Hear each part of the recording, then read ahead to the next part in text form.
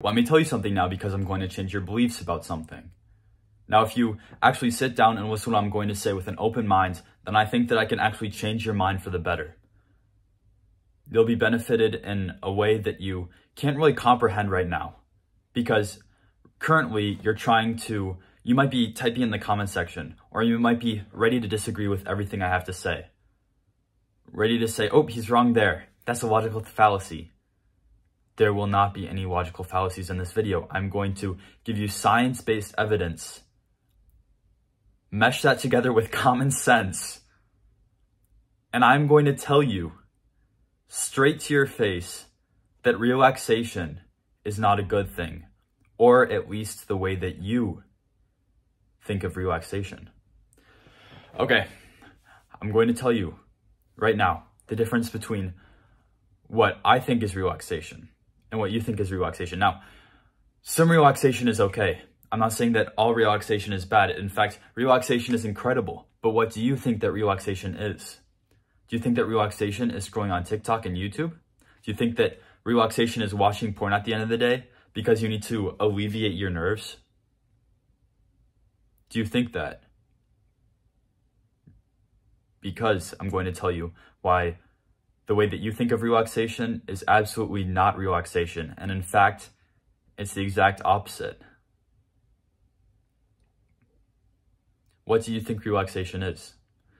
if I walked up to a random person on the street, like an absolute normal person, they would think that relaxation would be cozying up and watching TV. Or I like scrolling on my YouTube. I like taking self-care days where I just go on my phone for 10 hours and I don't really punish myself for the things that I do bad. That is absolutely a self-care day, yep. No, you are absolutely punishing yourself. And you are drastically reducing your productivity for the next couple days. You are dramatically re reducing your motivation. You're drastically reducing your happiness, your fulfillment. You know what a true self-care day is? An incredibly productive day. Okay, I haven't, I'm going to be honest with you, I haven't explained anything yet. I'm going to explain it to you. Do you really think that you're relaxing by watching YouTube or TikTok? Do you really think that you're relaxing by doing these highly stimulating activities? Because truthfully, if I'm going to explain it right to your face, you are not relaxing and your brain is not nearly in a relaxing state. It's not even close to a relaxing state. It's actually hyper stimulated. That's why when you get off your phone, you're way more irritable, you're way more angry at the world or sad.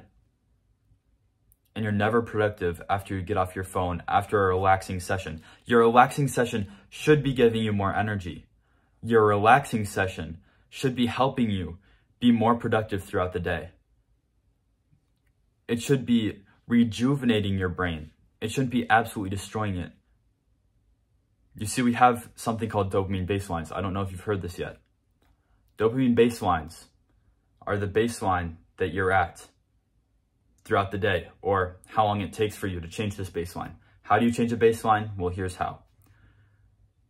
You experience, you experience a dopamine spike every time you scroll on TikTok, every time you see a YouTube thumbnail, every time you ejaculate. You experience a massive peak. What comes with every peak? A trough and with every massive dopamine spike, you stay at that trough. And if you don't know, dopamine is a huge deliverer of motivation. Dopamine is what creates our motivation. And when you're at this base level, do you really expect to be motivated? Now imagine if you keep scrolling.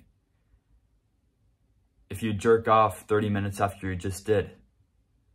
Well, up, down further. And it's just this constant loop, this constant loop, this never ending cycle of you thinking that you need more and more dopamine. But truthfully, you're not filling a hole, you're creating one. You are creating a problem. You are not solving it by going on all these things. I hope you understand that. I've said in a lot of my videos that you think, you think that your life is something to be escaped, don't you?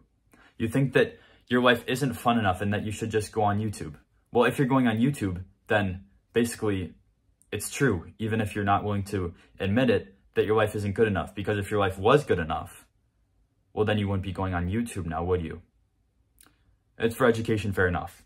But on TikTok, video games, all these different things, you genuinely think that your life is something to be escaped with all these technologies. But when you get off these technologies, life becomes something that doesn't need to be escaped.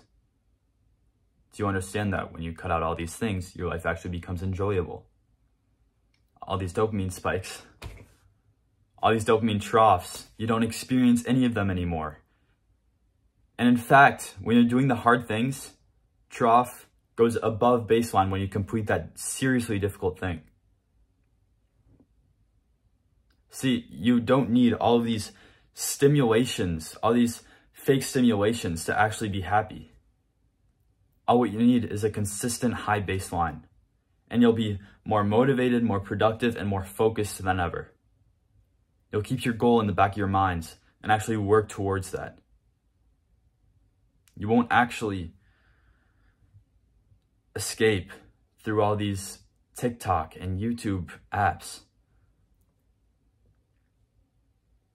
And yet, you consider that relaxation something that decreases your motivation, decreases your focus, makes you more irritable, makes you more sad. And you still think that it's something to relax. No, these things are creating a hole for you. They're digging the hole of motivation. They're digging a hole of lesson discipline. And as you dig this hole deeper and deeper and deeper, it gets way harder and way harder to get out. And if you keep this up for a while, then it'll be extremely hard to get out. I'm telling you to get out right now. And start climbing out of the hole as quickly as possible. Start doing hard things and watch your discipline and motivational level skyrocket. You'll actually enjoy reading books. You'll actually you'll actually enjoy journaling. You'll actually enjoy going to work even. Your 9 to 5 job is now enjoyable because finally you don't need to escape using all these things. You're actually happy in your current situation. Now admittedly, you shouldn't be completely happy in your current situation, right? You should be moving forward. But you're happy that you're moving forward. You're happy with yourself because you're making progress. That's what delivers happiness, especially for men, is our progress. Now, if you actually incorporate what I said in this video, then you'll actually get a ton of benefits from it.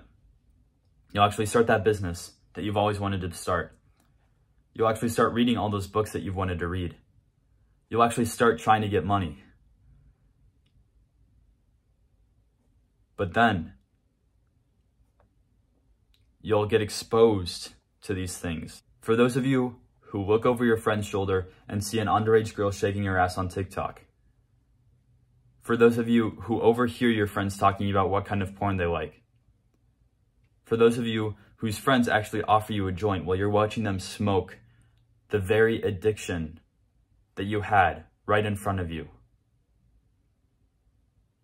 For those of you who encounter those situations, always remind yourself this. You are not filling a hole. You are creating a hole. You're not escaping with these things. With, because without these things, life becomes something that doesn't need to be escaped. Always remember that, and always remember what I told you. With every peak, there's a trough, and you will stay in that trough for days to come, maybe even weeks if you spiral out of control.